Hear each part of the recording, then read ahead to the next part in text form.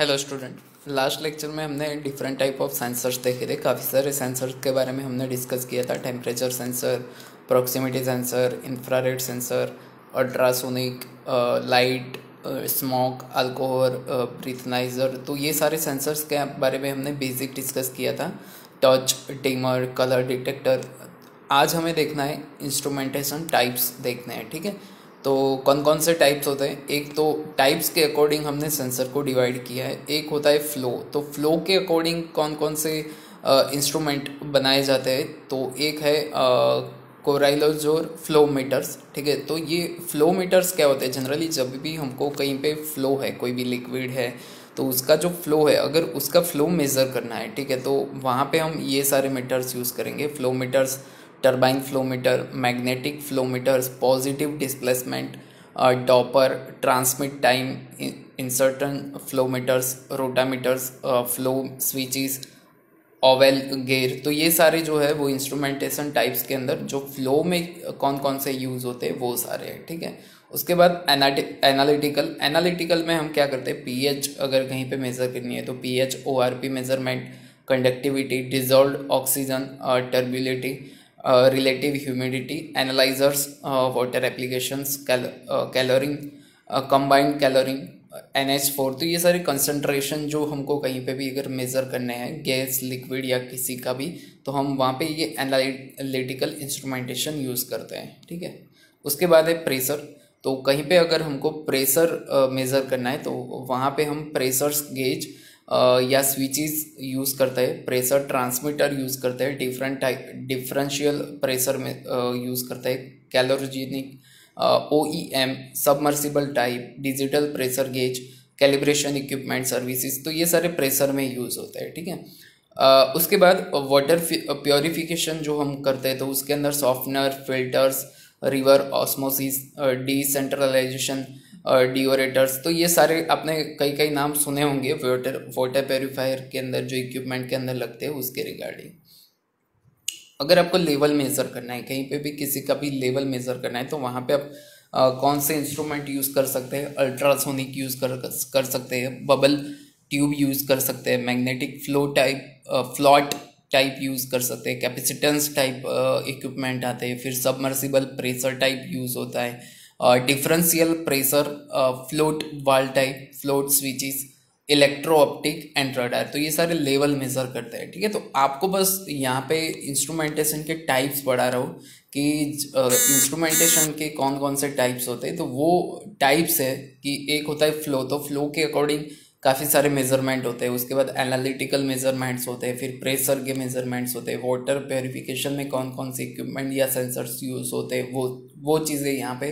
मैं आपको समझाने की कोशिश कर रहा हूँ, क्योंकि ये जो फ़र्स्ट चैप्टर है, उसके अंदर सारी चीज़ें बेसिक आपको बस जाननी है इंस्ट्रूमेंट एंड सेंसर के बारे में, ठीक है?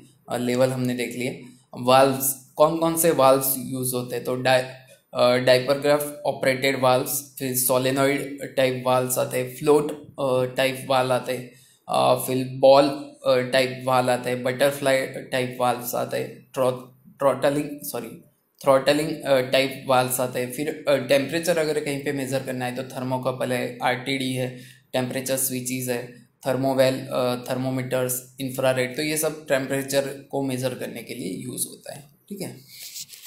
फिर जहाँ पे हजार्डस लोकेशन टाइप इक्विपमेंट है तो वहाँ पे intrinsic safety barriers isolators use होते हैं, जो इलेक्ट्रिकल सिस्टम में यूज़ होते हैं। फिर तो ये सारी जो यहाँ पे देखो गैस डिटेक्शन सेंसर तो जहाँ पे भी हजार्ड होने की चांसेस ज़्यादा है तो वहाँ पे हम काफ़ी इंस्ट्रूमेंट्स एंड सेंसर्स यूज़ करके उसको, वो चीज़ को अवॉइड कर सकते हैं, ठीक है? अदर सर्विसेज़ के अंदर lightning surge protection control panel fabrication startup calibration services तो ये सब चीज़ें हम वहाँ पे सर्विस प्रोवाइड कर सकते हैं, ठीक है?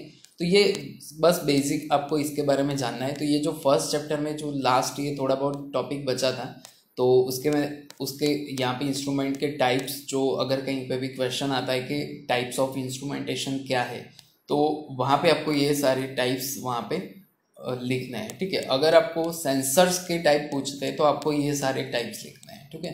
तो क्वेश्चन अगर फ़र्स्ट चैप्टर में से कहीं से आएगा तो उसके अंदर या तो सेंसर्स के टाइप्स पूछे जाएँगे या फिर आपको वहाँ पे इंस्ट्रूमेंटेशन का टाइप्स पूछा जाएगा, ठीक है?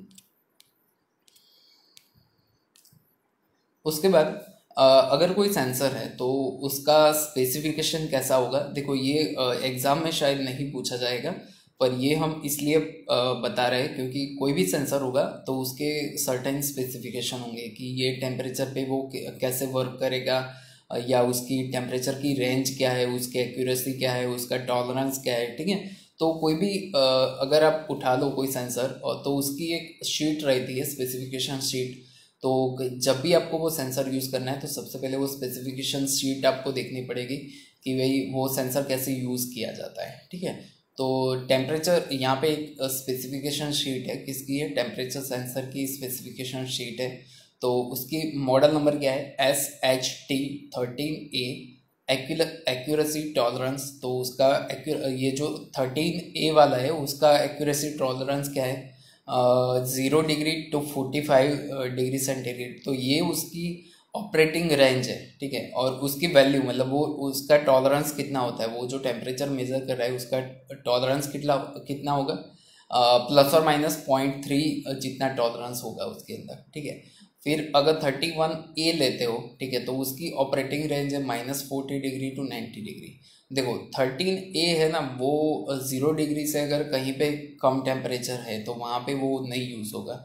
अगर आप टेम्परेचर मेज़र करने के लिए उसको यूज़ कर रहे हो और कहीं पे ज़ीरो डिग्री से अगर कम टेम्परेचर आ जाता है, ठीक है तो वो सेंसर वर्क नहीं कर पाएगा क्योंकि वो उसकी ऑपरेटिंग रेंज ही नहीं है, ठीक है. तो जहाँ पे भी आपको ज़ीरो से अबव मेज़र करना है, वहाँ पे वो यूज़ करो. अगर थर्टी वन ए की बात करें तो उसका माइनस फोर्टी से लेकर नाइन्टी डिग्री सेंटीग्रेड तक वो वर्क कर सकता है, ठीक है? और एक्यूरेसी टॉलरेंस है ज़ीरो प्लस और minus zero point three centigrade thirty five A अगर लेते हो तो उसका ऑपरेटिंग रेंज सेम है थर्टी वन ए जैसा ही है, पर इसका बस टॉलरेंस अलग है मतलब वो जो उसका जो एक्यूरेसी टॉलरेंस है ना, वो कम है, ठीक है? Compare to thirty one A ठीक है? उसके बाद रिपीटेबिलिटी मतलब रिपीटेबिलिटी को क्या बोलते हैं? जनरली अगर आप एक रीडिंग लेते हो नंबर ऑफ़ रीडिंग्स लेने हैं आपको सपोज़ करो कि आप टेन रीडिंग्स लेते हो, ठीक है? तो वो टेन रीडिंग के वक्त, वो हर एक टाइम उसके रीडिंग में थोड़ा बहुत डिफरेंस आएगा, ठीक है? यहाँ पे जो रिपीट का मतलब क्या है कि अगर आप रीडिंग लेते हो सपोज़ आपने एक फ़र्स्ट रीडिंग लिया, ठीक है?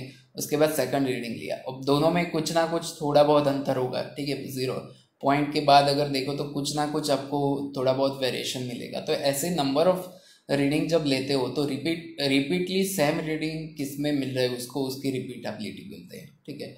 तो यहाँ पे लो टाइप में जो आपका टाइप है, ऊपर जो तीन सेंसर आपको दिए तो लो टाइप में ज़ीरो पॉइंट वन फाइव है, ठीक है? तो ये सेंटीग्रेड डिग्री है तो मतलब कितना डिफरेंस आ रहा है उसके बीच में? वो आपको यहाँ पे दिया है। फिर रिजोल्यूशन रिजोल्यूशन कितना है? Zero point zero one degree centigrade है। स्पेसिफाइड रेंज तो उसकी रेंज यहाँ पे स्पेसिफाइड की है माइनस फोर्टी से लेके one twenty five response type कितने टाइम में वो रिस्पॉन्स आपको दे देता है? तो लेस दैन टू सेकेंड में। लॉन्ग टर्म ड्रिफ्ट तो कितना अपने लॉन्ग टर्म ड्रिफ्ट का मतलब ये होता है कि वो लॉन्ग जैसे आपने आज सेंसर लगाया और चार पाँच साल के बाद उसके थोड़ा बहुत उसके अंदर वेरिएशन आना स्टार्ट होगा, ठीक है? मतलब ऐसा नहीं है कि चार पाँच साल के बाद ही वो पर ईयर या फिर बोले तो थोड़े थोड़े टाइम के बाद उसके रीडिंग में थोड़ा बहुत माइनर चेंजेस आना स्टार्ट हो जाता है, ठीक है? तो यहाँ पे लॉन्ग टर्म ड्रिफ्ट कितनी है? Less than zero point zero three centigrade per year, ठीक है? तो यहाँ पे देखो सारी चीज़ें यहाँ पे स्पेसिफाई की है। रेंज रेंज का मतलब ये होता है minimum and maximum ranges of variable sensor is a measuring अब यहाँ पे क्वेश्चन कैसे आ सकता है? देखो, कहीं पे आपको बोले कि सेंसर स्पेसिफिक्स ऐसा जो आपका सिलेबस है ना, उसके अंदर एक टॉपिक है सेंसर स्पेसिफिक्स तो उसका मतलब ये होता है कि हर एक सेंसर का स्पेसिफिकेशन होता है, ठीक है? तो उसकी स्पेसिफिकेशन सीट के अकॉर्डिंग उसका स्पेसिफिकेशन के अंदर क्या क्या चीज़ें इन्वॉल्व होती है? तो ये सारी चीज़ें उसके अंदर इन्वॉल्व होती है। रेंज होती है। तो रेंज रेंज क्या है? Minimum and maximum ranges of variable sensor is a measuring तो सेंसर जो मेजर कर सकता है उसकी मिनिमम एंड मैक्सिमम लिमिट क्या है? रिजोल्यूशन uh, तो smallest different between the two readings and variable for example if a temperature sensor can measure यहाँ पे अगर ये मेज़र करता है ten point zero one and ten point zero two और ten point zero zero one and ten point zero zero two degree Celsius ठीक है? तो ये उसका जो रिजोल्यूशन है तो मतलब कितना मेज़र करता है यहाँ पे देखो पॉइंट के बाद दो ही डिजिट तक वो मेज़र कर सकता है फ़र्स्ट रीडिंग में। जबकि यहाँ पे तीन डिजिट मतलब जितना आप पॉइंट के बाद वैल्यूज़ बढ़ाओगे तो उतनी एक्यूरेसी मतलब उसका, उतना एक्यूरेसी लेवल बढ़ता जाएगा। तो उसका, उसको, उसका रिजोल्यूशन बोलते हैं। Accuracy the accuracy of sensor is the maximum uh, difference that will exist between the actual value uh, and the indicated value at the output of sensor ठीक है? तो एक्यूरेसी क्या है? तो कितना एक्यूरेटली वो टेम्परेचर को मेजर कर रहा है उसको उसकी एक्यूरेसी बोलेंगे। रिपीटेबिलिटी मैंने पहले भी समझा दिया आपको। इलेक्ट्रिकल स्पेसिफिकेशन तो उसका पावर कंजप्शन क्या है? करंट का कंजप्शन क्या है? Performance in a different environment condition क्या है? तो वो उसका इलेक्ट्रिकल स्पेसिफिकेशन है। टाइम के स्पेसिफिकेशन का मतलब ये होता है कि सेंसर कितना टाइम लेता है उसके रीडिंग और या बोले कि उसका आउटपुट देने के लिए। तो उसको टाइमिंग की स्पेसिफिकेशन बोलते हैं, ठीक है? अब एक टॉपिक है permanent installation and temporary installation ठीक है? तो परमानेंट इंस्टॉलेशन किसको बोलते हैं? तो permanent arrays are often preferred for long term monitoring purpose ठीक है? तो अब कहीं पे देखो कि आपको कोई एक सेंसर लगाना है, ठीक है? और वो सेंसर का रीडिंग आपको सालों तक लेना है। मतलब आपने सपोज़ कोई सीटिंग है, ठीक है? अगर उसका टेम्परेचर कंटिन्यूसली मेज़र करके आपको कहीं पे डिस्प्ले करवाना है कि भाई हाँ ये सिटी का अभी का टेम्परेचर ये है, ठीक है? तो आपको वहाँ पे क्या करना पड़ेगा? परमानेंटली सेंसर्स वहाँ पे इंस्टॉल करने पड़ेंगे, जो सालों तक वहीं पे रहने वाले हैं और सालों तक वो अपना आउटपुट देने वाले हैं, ठीक है? तो वो केस में आपको कैसा इंस्टॉलेशन करना है? परमानेंट इंस्टॉलेशन करना है, ठीक है? तो cementing sensors array in a place is also cost effective solution for operator over a long time duration when compare to wire wireline based deployments ठीक है? तो उस टाइम पे आपको कैसा करना पड़ेगा कि वो जो इंस्टॉलेशन है, सबसे पहले तो इतना अच्छी तरीके से करना पड़ेगा कि आपको वो सालों तक वो रीडिंग दे पाए और वो अपना जो भी उसकी कंडीशन है, वैसे की वैसी रहे, ठीक है? तो इस इस तरह से हम एक सेंसर का परमानेंट इंस्टॉलेशन कर सकते हैं। एक होता है टेम्परेरी मतलब आपको वो बहुत टाइम तक नहीं चाहिए, ठीक है? आपको थोड़े बहुत टाइम के लिए वो मेज़र करना है उसके बाद उसको निकाल देना है, ठीक है? तो वहाँ पे आप टेम्परेरी इंस्टॉलेशन कर सकते हो, ठीक है? तो जो फ़र्स्ट मॉड्यूल था, उसके अंदर इतना, इतनी चीज़ें कवर है, जो सिलेबस आपका है, उसके अकॉर्डिंग इतनी चीज़ें उसके अंदर है। अब ये मॉड्यूल वन ख़त्म हो रहा है। मॉड्यूल वन का मैं आपको असाइनमेंट दे दूँगा। वो असाइनमेंट आप अपनी तरह से लिख देना ठीक है? और वो असाइनमेंट फॉलो करना एग्ज़ाम के लिए। क्योंकि देखो पेपर्स नहीं है इस बार हमारे पास ठीक है? ना तो बुक्स अभी भी अवेलेबल हुई है मार्केट में ठीक है? अगर अवेलेबल हुई है तो अच्छी बात है। तो आ, मुझे भी बोलना कि अगर आ गई है तो क्योंकि मैं भी कंटिन्यूसली सर्च कर रहा हूँ कि अगर मार्केट में वो बुक आ गई तो अपने को एक थोड़ा आइडिया रहे कि क्या क्या कौन से क्वेश्चन आने वाले हैं आपके एग्ज़ाम में, ठीक है? तो अगर बुक आ गई है तो मुझे इन्फॉर्म करना और अगर मुझे मिलेगी बुक तो मैं आपको इन्फॉर्म करूँगा। पर अभी तक, जहाँ तक बुक या कोई भी मटेरियल हमको नहीं मिलता है, तब तक जो भी मैं असाइनमेंट दे रहा हूँ, वो आप फॉलो करो, ठीक है? अगर कोई भी क्वेश्चन हो तो आप फेसबुक के अंदर कमेंट कर सकते हो, ठीक है? Thank you